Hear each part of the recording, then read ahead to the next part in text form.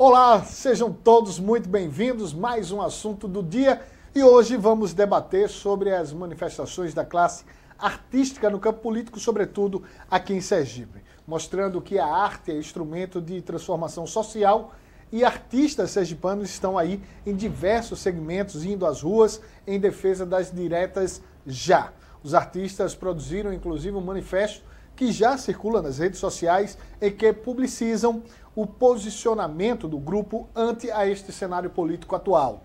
O documento reafirma o posicionamento do coletivo de artistas em defesa da democracia contra as reformas política, trabalhista e previdenciária, além de conclamar pela realização de diretas já ou eleições diretas.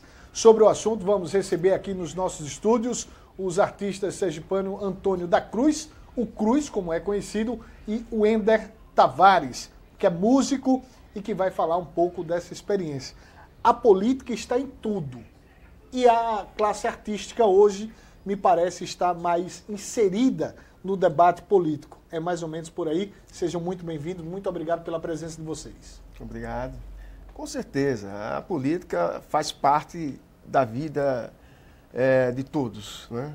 E a gente não poderia dizer, antes de ser artista, somos cidadãos. E como tais, a gente tem se manifestado, por isso é que estamos lutando pelas diretas já e contra toda essa, essa situação que instalou no país. Né? Wender, é, mais do que debater visões meramente partidaristas, digamos assim, as pessoas precisam tra é, trabalhar e discutir a questão da cidadania. O que é que eles querem enquanto país? Ah, na verdade, a gente tem que ter uma leitura crítica da sociedade, né? A arte ela tem sempre essa leitura crítica, tanto na música que você faz, quanto no filme que você dirige, enfim, no roteiro que você escreve. Você sempre tem uma leitura crítica das coisas, né? Acho que a, a, a obrigação da arte, quando não é só entretenimento, né? Porque você tem que diferenciar o que, que é arte, o que, que é entretenimento, né? Que não necessariamente um, um, show de uma banda, né? Apesar de ter o posicionamento daquele artista ali, mas não necessariamente ele é puramente arte. Ele pode ser só entretenimento, só uma coisa pueril, fugaz ali para passar o momento. Mas a arte tem que ter essa visão crítica. Acho, acho que é isso quando a gente faz um movimento desse, esse tipo de coisa que a gente tenta expor, né, para a sociedade. Dizer, ó, a gente está vendo a coisa desse jeito aqui, não necessariamente como a mídia está passando, e a gente acha isso, a gente expõe um posicionamento crítico da gente quando a gente se propõe a debater algo desse tipo, é, a gente lembra muito de anos né, da criação, inclusive, do movimento artístico. As pessoas muitas vezes confundiam, achavam que o artista era tão somente alguém que tinha um dom para as artes. E esqueciam muitas vezes que antes de ser o artista, ele é o cidadão.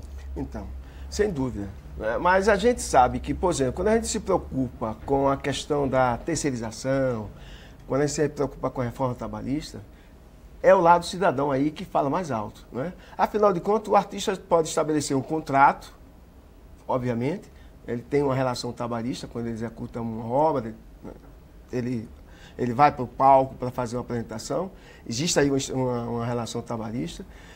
Existe uma relação social, social né? até porque o artista é, é, faz parte de uma comunidade, né? uma comunidade tipicamente social. O artista tem família, o artista tem uma atividade social como qualquer outro cidadão.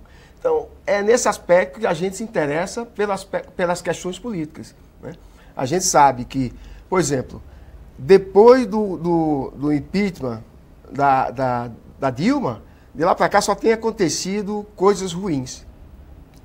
Por exemplo, a reforma trabalhista, por si só, a gente vê que tem, sei lá, talvez 200 ou mais itens da CLT modificados. E a tendência é cada vez para pior. O que a gente observa nessa, nessa, nessa reforma trabalhista é que muitas irregularidades passaram a ser oficializadas. Né? Quer dizer, a gente identifica mais aquelas questões exemplo, da jornada de 12 horas, a, a redução da, do, do, tempo de, de, de refeição. Né? Não se leva em conta a diferença, o, o, o trajeto do, do, trabalhador. Isso tudo vai acarretar uma situação é, para o trabalhador que vai, vai criar mais estresse. Eu imagino quantos conflitos trabalhistas não vão acontecer de agora em diante. Teremos com certeza muito mais conflito trabalhista. Eu não tenho dúvida. Imagine a situação da mulher que passa agora a trabalhar uma situação insalubre e, e fica sujeito, vai certamente ficar muito mais sujeita a, ao assédio moral, ao assédio moral, por quê? Porque ela pode se recusar e aí mais um conflito. Eu imagino que não vai ser fácil uma relação, as relações de trabalho de agora em diante. Né? Vão, vão haver muito mais conflito, vai haver muito mais conflito do que a gente tem atualmente. Quando a gente, lógico que, independente dos, dos pontos de vista e, e das concordâncias ou discordâncias a, a, a respeito dessa reforma, é, há muito mais discussões em relação aos posicionamentos e à participação popular nas decisões do país. É, esse modelo de democracia é um modelo plantado já há algum tempo, mais precisamente a partir da Constituinte de 88. Mas o que a gente percebe é que hoje, mais do que nunca, as pessoas acabam reclamando da forma que ela, essas decisões elas são tomadas. Contudo, foi um modelo que nós brigamos para que ele existisse. É, independente do que é aprovado, é o povo que decide que a democracia ela perdure. É que os nossos representantes do Congresso sejam os legisladores do país. Talvez essa discussão deva ser ampliada. Vocês veem dessa forma? Então, a gente é bom até ter essa discussão que a gente está na casa legislativa aqui, né? Tanto quando a Câmara Federal, a gente está aqui na Assembleia, que é a Câmara Estadual, digamos assim. É, a discussão da democracia é muito ampla. Primeiro, ela é, ela é ampla e ela é distorcida dentro do que se discute. Né? Nem todo mundo tem a mesma visão de democracia, como ninguém tem a mesma visão de liberdade de expressão. A pessoa acha que, por exemplo, promover um discurso homofóbico é uma liberdade de expressão, e não é. Na verdade, ela está ferindo uma série de direitos e de leis e de tudo quando ela, ela fala ali. Mas se a gente for pegar esse, esse, tipo de democracia, esse sistema bicameral, essa coisa toda que a gente promulgou, que a Constituição de 88 promulgou, ela, de certo modo, ela vem desgastando. Ela já era uma garantia do Estado, como o pessoal mais esquerda fala do Estado burguês, né? que é manter o que já tem. Né? Se a gente pegar a própria reforma política que estão propondo, ela é para manter o que já existe. Ela quer acabar com os pequenos partidos né? e manter para você migrar, para você acabar só tendo dois partidos, como a gente sabe que acontece praticamente no Brasil, né? Porque você tem uma coligação do lado e uma coligação do outro. E você tem os pequenos partidos ali que não conseguem ter uma ascensão é extremamente nocivo para a democracia isso. Porque, por exemplo, a pessoa que não concorda com um partido tal ou com um partido tal, ela, ela é acaba, ela acaba sem opção. Mas, mas aí a gente vai para uma outra discussão e que a classe artística ela também tem que se, se esmerar nessa, nessa participação, que é o seguinte, é, em vários países considerados bem-sucedidos, o número de partidos é muito menor do que o que existe no país a forma dos, de existência desses partidos que hoje exigem no país, existe aqui no Brasil, também é muito contestado nesses países considerados mais desenvolvidos, que é a questão da manutenção do partido, como esses partidos são mantidos. Isso também gera uma outra discussão, isso também gera uma outra formatação do que, do que é que a gente quer. Qual é o Brasil que a gente quer? É um país desenvolvido? É um país só politizado, né? que todo mundo possa ter suas vertentes políticas é, é, asseguradas, mas sem que os direitos e as mudanças reais para melhoria de uma educação efetiva, de uma saúde de qualidade, elas sejam também colocadas nesse bojo, como é que vai se chegar a isso? Mas é que, na verdade, por exemplo, não existe país desenvolvido sem politização. Você não precisa ser de esquerda, de, direita ou de qualquer nomenclatura dessa. Você precisa ter noção do que está acontecendo na sua vida ali e ter uma visão crítica daquilo.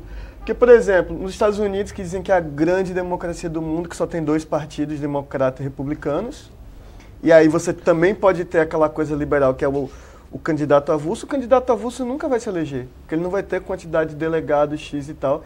E aí você tem dois casos já do presidente que teve menos votos no total sendo eleito pela quantidade de delegados que o partido dele conseguiu colocar. Isso é democracia? Isso não é. Tá lá os americanos estão tentando impeachment, estão tentando dar o golpe, lá no, o golpe no Trump, né? Estão tentando impeachment ele e aquela investigação e aquela coisa toda. Então, um modelo para ser discutido. O Brasil não pode ser comparado a um país do tamanho da Suíça, porque é continental, é, é, o Brasil é tamanho de um continente, né? São várias Suíças aqui dentro, né? É, se você pegar o, o, o, tamanho do Brasil, o tamanho da França, você vai ver que são várias Franças que a gente consegue colocar aqui dentro.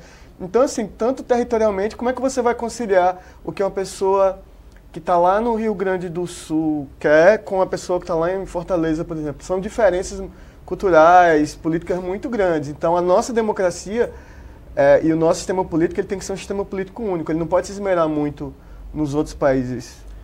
É, a impressão que tenho é que a, demo, a, a República não se, instale, não se instalou definitiva ainda no Brasil. A República ela ainda está é, como que engateando, né? porque a gente teve a própria proclamação da República como um golpe. Né? Adiante a gente teve mais golpe. O Getúlio Vargas deu golpe, né? em 64 tivemos outro golpe. Quer dizer, a cada, a cada é, evento desse tipo, há uma deseducação para a democracia. Ou seja, o voto, que seria um instrumento importantíssimo para a gente, para o cidadão comum, ele, ele de repente, ele perde, as pessoas perdem confiança. Como é que eu, eu tenho certeza que eu vou votar numa proposta de governo, sei que aquilo vai ser aplicado, ou pelo menos eu vou cobrar se o, se o, o candidato, quando exercer né, o mandato, ele não cumprir, eu tenho o direito de cobrar, porque eu votei nele. Mas, de repente, vem um golpe e você diz, bem, agora não vale mais aquilo. Quer dizer, essa, essa sensação de insegurança né, que se estabelece no país quando há um golpe, seja ele é, usando a força militar ou ele disfarçado de, de ações jurídicas, onde a, o próprio é, Poder Judiciário ele, ele, ele cria todo aquele verniz de legalidade, né? não importa. O importante é que a gente sabe que a cada golpe cada golpe, a, a fé na democracia é perdida. O que tem de gente hoje, imagine, tem gente que não vai votar nas próximas eleições, não está no gibi. Ou seja, tende a aumentar cada vez mais é, a quantidade de voto branco e voto nulo. Porque as pessoas perdem a confiança no sistema. Né? A gente tem, sabe que, por exemplo, tem castas de, de, de, de funcionários públicos, né? com salários que fogem muito da realidade, fogem inclusive do, do aspecto legal, do, do, do, teto estabelecido pela própria lei. E a gente tem agora uma reforma trabalhista onde a tendência é cada vez mais as pessoas terem menos que um salário mínimo para trabalhar. As pessoas vão se submeter a situações escochantes para poder ter um, um, um, pão de cada dia. Então, essa, essa diferença abissal que tem entre quem ganha menos salário mínimo quem, e a, a, uma casta do poder público, né, é, isso não é democrático, isso não é republicano. Né? Então, eu acho que o defeito está exatamente na própria estrutura, é, da incompreensão do que seja democracia, do que seja república. Não existe ainda. Isso faz parte da formação do cidadão. Infelizmente. Um país mal educado, né? um país sem a sua educação, fatalmente ele vai ter. Educação política, inclusive. Ele vai, ter, aí, ele vai ter pessoas. Educação política, inclusive. Porque só... o próprio sistema ajudaria a explicar e a fortalecer essa educação política. Desculpa. Aí eu discordo um pouco do ponto de vocês, que é o seguinte, a gente tem que ver que, que acontece. Tudo é um sistema, né? Então, primeiro, tiram-se os direitos dos trabalhadores, né? E aí o governo federal faz campanha na televisão dizendo, e o funcionário público, como é que vai ficar? Sendo que a gente sabe que de fato existe essa casta, esse, esses altos funcionários públicos com salários altíssimos. A gente sabe que existe, a gente vê no jornal todo dia, é só pegar. A gente sabe que existe uma parte pequena que recebe muito dinheiro. Mas a maioria dos funcionários públicos recebe muito mal. O professor na universidade recebe muito mal, quase não tem direito à greve, que faz a greve, o governo ignora, a justiça né, tem todo um processo. E aí, ao passo em que se você tira os direitos das pessoas, e aí o que, que acontece? A população está preocupada com a sobrevivência dela ali. Né? Porque o cara que sabe que está estudando para o concurso, que não vai mais ter o concurso, ele está ali aperreado, ele tem que se virar e as pessoas se viram para coisa mais individualista, né? De resolver o problema dela e o resto da sociedade que fique nesse arcabouço aí. Mas já diziam que o, o ser humano ele vive socialmente, mas ele é amplamente individualizado, né? É, é, existem, existem estudos que tratam dessa forma e talvez a grande máxima do nosso país em termos de relação com outros. Quando você fala assim, Weder, é, é, Wender, que não dá para comparar o Brasil à França, É, eu acho que os modelos bem-sucedidos, eles podem ser utilizados em qualquer parte do mundo. Não é porque nós temos as nossas tradições que nós não podemos aprender coisas novas. Por exemplo, o brasileiro, ele hoje, é, o número de pessoas que andam sem cinto de segurança, ele é muito menor do que era antigamente. Ele precisou aprender de uma forma talvez não a desejada, que foi pagando, né, tendo autuações, né, sendo, é, é, é, digamos assim, proibido pela atuação da polícia, mas ele aprendeu. Será que outros ensinamentos é. não, são, não são possíveis? Mas veja só, por exemplo, é exatamente o exemplo da França. Essa semana eu estava lendo uma entrevista de alguém que já foi que já foi presidente da Câmara sem ser um desses que estão que estão presos, né? Alguém que já foi presidente da Câmara Federal. Sem, aí ele dizia exatamente que o presidente do Parlamento francês tinha vindo para o Brasil para entender como funcionava o sistema político aqui, para eles aplicarem algumas coisas lá, porque eles não têm tanta diversidade nos partidos. Você tem alguns grandes partidos na França, né? socialista, de direita e tal, de de direita, mas você não tem essa diversidade toda, porque eles acham essa, essa diversidade de partidos benéfica. Mas a gente sabe que, no frigir dos ovos, que tem partidos aqui no Brasil que são legendas de aluguel e tal. É importante a gente regulamentar, eu acho que é mais importante a gente regulamentar para que não sejam legendas de aluguel do que a gente acabar e deixar só dois partidos, porque isso foi no tempo da ditadura. Em 76, 78 eram dois partidos, que era a Arena e o MDB, e a gente viu no que deu, né? Era parte do Sim do Sim Senhor, né? É. Olha, a questão da França é a gente lembrar que a França tem uma história secular, né? Tem todo... A França é, é o berço da, da, da, da República, né? República contemporânea. A gente tem que saber disso. Saber que lá o povo fez revolução, saber que lá eles aprenderam com as guerras, eles aprenderam com, com a guerra a respeitar o cidadão a República lá se instalou. É isso que eu estou dizendo. No Brasil não se instalou. Porque cada um se sente um reizinho e a gente ainda tem as oligarquias ainda mandando, não é? A gente tem.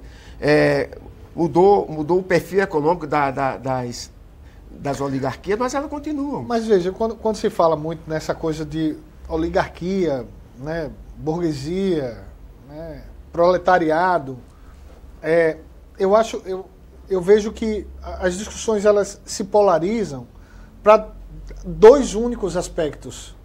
Né? E, e, aí você, você deixa de visualizar setores que fazem parte também dessa discussão. Por exemplo, a gente tem, antes a gente tinha a esquerda e a direita, hoje a gente tem partidos que não são considerados de esquerda, tem partidos que não são considerados da direita e que buscam espaços né, que brigam por espaços e que não chegam ao poder porque é o povo que escolhe. Então, assim, é, é, uma parte, né, uma parte entende como golpe e a outra defende, porque a outra defendeu a saída. Aí é uma polarização. Né? Então, isso tá é uma polarização.